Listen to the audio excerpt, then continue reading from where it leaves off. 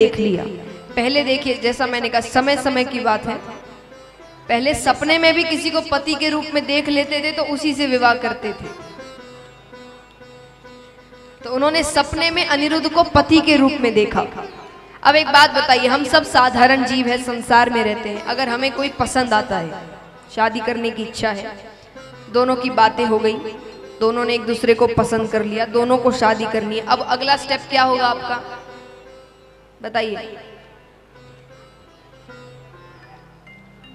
माता पिता को बताएँगे कि भैया ऐसी ऐसी बात है, हमको कोई पसंद है, उससे शादी करनी है। है ना? फिर माता पिता को जचेगा तो वो दोनों बात करेंगे। हर कोई यही करेगा। पर ये हम साधारण लोग करते हैं। उषा किसकी बेटी है? दैत्य की थोड़ी हरकतें तो आएँगी। उसने रात को सपने में अनिरुद्ध को पति के रूप में देखा, रात तो रात उठा कर ले आए। अपहरण कर कर लेकर आ जाते हैं अनिरुद्ध जी का। अब भगवान को पता चलता है, भगवान के तो बहु स्वीकार है, भेज दो दोनों को। पर बाणासुर को तो हाथों से मुक्त होना है। उसने कहा, नहीं, आओ, युद्ध करो और ले जाओ। भगवान आते हैं, युद्ध आरंभ होता है। युद्ध में पहला तीर ही भगवान चलाते हैं। वो पहले तीर से ही वो एक हज़ार हाथों से मुक्त हो जाता है। दूसरा तीर भगवान चलाए इससे पहले महादेव जी बीच में आ जाते। हैं महादेव जी कहते जो करना था हो गया। अब आप बेटी दो और आप बहू ले जाओ। मैं भगवान के विरुद्ध युद्ध नहीं कर सकता। तो बाणासुर को भी तो यही करना था। उसने युद्ध वहीं रोक दिया और भगवान अपने पौत्र और पौत्र वधु को अपने साथ लेकर जाते हैं। इस प्रकार भगवान का भी अब परिवार बढ़ रहा है। यहाँ पर पांडवों ने एक मायावी महल बनवाया। बहुत सुंदर। तो उन्होंने अपने भाइयों को बुलाया क्या कर देखो, हमने इतना सुंदर महल बनाया है। सब आते हैं, क्योंकि मायावी महल था दुर्योधन को समझने में थोड़ा समय लग गया। ठोकर लगती है, वो गिर जाते हैं। सामने से द्रौपदी जी जा रही थी। द्रौपदी जी ने सोचा, थोड़ा हँसी मज़ाक करते हैं। द्रौपदी जी ने मज़ाक मज़ाक में कह दिया, वही बात मैंने कल कही ना, कई बार मज़ाक करने में और किसी को ठेस पहुँचाने में इनके बीच एक पतली सी लाइन होती है, जो हमें दिखती नहीं है और हम उसको पार कर देते हैं। द्रौपदी जी ने कह दिया, अंधे का पुत्र अंधा। उसी दिन महाभारत का बीज रोपण हो गया था। दुर्योधन वापस आते हैं, अपने मामा के पास आते हैं। मामा से कहा, मुझे उस द्रौपदी से बदला लेना है। मामा ने कहा, धृत क्रीड़ा का खेल करेंगे, जिससे बदला लेना है, जैसा बदला लेना है, ले लेना। पास मेरे वश में है। खेल आरंभ होता है, बीच सभा में खेल हो रहा है। अब पास, क्योंकि मामा के वश में है धीरे धीरे पांडव अपना सब कुछ हार गए। धन, दौलत, राज्य, सब कुछ।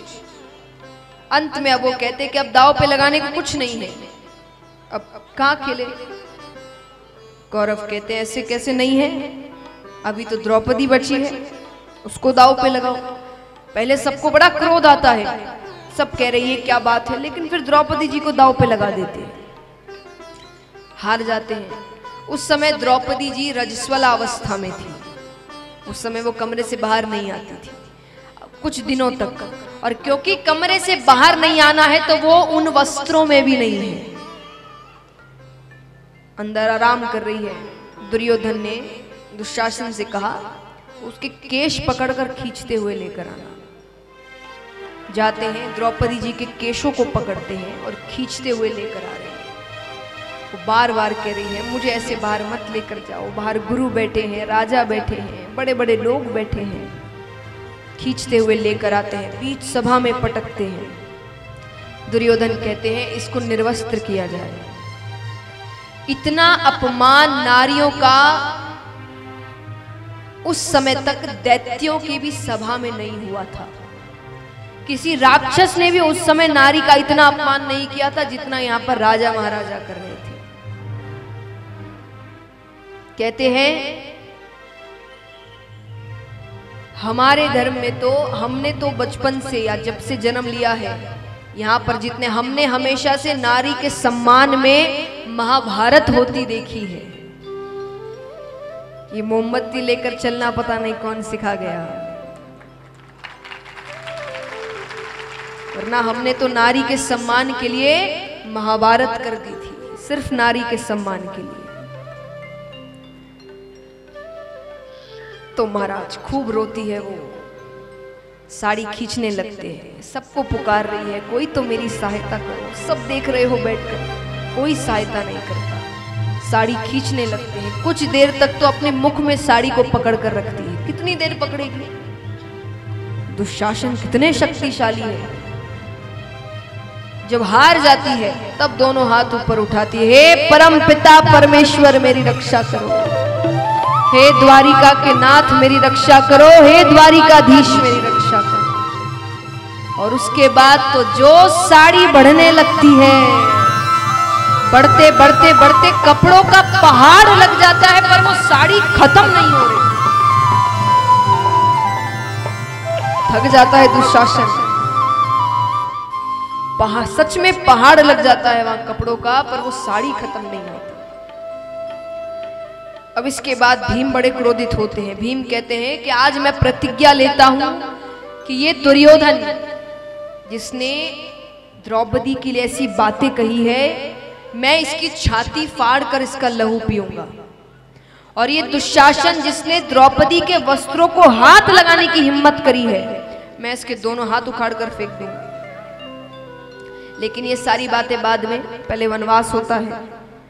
वनवास होता है। वनवास के बाद वापस आते हैं, आकर अपना राज्य मांग रहे हैं। दुर्योधन कहते हैं, युद्ध करो, ले जाओ। अरे, तुमने वचन दिया था कि तुम वनवास के बाद सब कुछ वापस कर दोगे? बोले, लिखित रूप में कुछ है।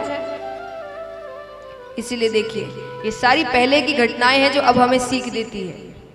इसीलिए आजकल हम हर चीज़ लिखित रूप में रखते हैं कि कौन अपने बात से मुकर जाए। दुर्योधन ने कहा, मुझे कुछ याद नहीं। कि मैंने देने का कोई वादा किया था। युद्ध करो, ले जाओ। भगवान के पास पांडव जाते। देखिए, पांडवों के पास एक ही सहारा है। उनको जब कोई परेशानी होती है, वो सिर्फ़ एक व्यक्ति के पास जाते हैं, और वो है। इसीलिए उन्होंने हर अपनी जंग जीत ली। हमारी नज़र में तो भगवान लास्ट ऑप्शन होते हैं। है कि नहीं? पहले बड़े बड़े सेठों से मिलो, लोगों को फ़ोन करो, ये काम कर दो भाई, वो काम कर दो भाई। जब सब मना कर देंगे, तब भगवान की याद आती है। और पांडवों को सबसे पहले भगवान की याद आती थी। भगवान के पास जाते हैं, भगवान शांति दूत बनकर आते हैं। भगवान समझाने की कोशिश करते दुर्योधन को। दुर्योधन कहता, मुझे कुछ याद नहीं। अरे मैं युद्ध के बिना सुई भर भूमि नहीं देने वाला। आप क्या बातें कर रहे हैं? अरे भगवान कहते राज्य मत दो, पाँच पांडव को पाँच गाँव दे दो, इतना तो कर दो। बोलते कुछ नहीं दूँगा मैं। दुर्योधन ने कहा, ये सब बातें छोड़िए, मैंने आपके लिए छप्पन भोग बनवाया है। आकर भोजन करते, भगवान कहते हैं, भोजन किसी के यहाँ भी दो ही शर्तों पर करना। कौन सी शर्तें? पहली, कि जो भोजन करवा रहा है, उसके मन में आपके लिए बहुत प्रेम है। बहुत, यानी वो सच में चाहता है आप उसके घर भोजन करो तो कर लेना। दूसरी, आपको बड़ी ज़ोर की भूख लगी है। तब तो जहाँ मिल जाए, वहाँ कर लो। भगवान कहते यहाँ दोनों ही चीज़ें मुझे नज़र नहीं आ रही। ना तो मुझे इतनी भूख लगी और ना तुम्हारी आँखों में इतना सा भी प्रेम नज़र आ रहा है। मैं तो विदुर जी के भोजन करूँगा। अब विदुरानी यहाँ पर विदुर जी से कह रही है कि, सुना है, कृष्ण आया है। वो घर आ जाता तो विदुर जी कहते, राजा है, राजा से मिलने आया है। दासी पुत्र के यहाँ क्यों आएगा? अरे, कोशिश तो करो। विदुर जी कहते, ठीक है, मैं जाता हूँ। विदुरानी ने कहा, अगर कृष्ण को साथ लाओगे तो बाज़ार से कुछ खाने को भी लेते आना, घर पे कुछ नहीं है। ठीक है। विदुर जी जाते, विदुर जी का जाना हुआ और भगवान का, भगवान दरवाजे पे खड़े होकर आवाज़ लगा रहे हैं। विदुर जी अरे कहा हो? अंदर नहीं बुलाओगे क्या? देखिए, ये अपने लोगों की पहचान होती है। कोई पराया आपके देखिए, आजकल आवाज़ें तो इतनी नहीं देते, डोरबेल्स होते हैं। घंटियाँ होती है। तो आएँगे जो जो बड़े ही पराये से होते चुपचाप खड़े रहेंगे, एक बार डोरबेल बजाएँगे। इंतज़ार करेंगे। और यही आपका कोई मित्र होगा तो? वो तब तक डोरबेल से उसका हाथ नहीं हटेगा जब तक गेट नहीं खुल जाता। ये अपनापन होता है। कि उसको पता है कि आप गेट खोल के चिल्लाओगे नहीं कि भाई कैसी हरकतें कर रहे हो? क्योंकि आपको पता है वो वैसा ही है। मित्र ऐसे ही होते हैं। तो भगवान भी आते ही ज़ोर से चिल्लाने लगते अरे कहाँ हो? अरे आजकल तो भूल ही गए, मिलने नहीं आते, ये नहीं करते। खूब बातें कर रहे हैं भगवान। विदुरानी जी कहती, ये कौन आया है जो इतने अपनेपन से पुकार रहा है? विदुरानी बाहर आती और साक्षात दरवाजे पर भगवान खड़े हैं। आइए, हम भी प्रार्थना करते किस दिन हमारे घर भी आ जाए भोजन करने इस प्रकार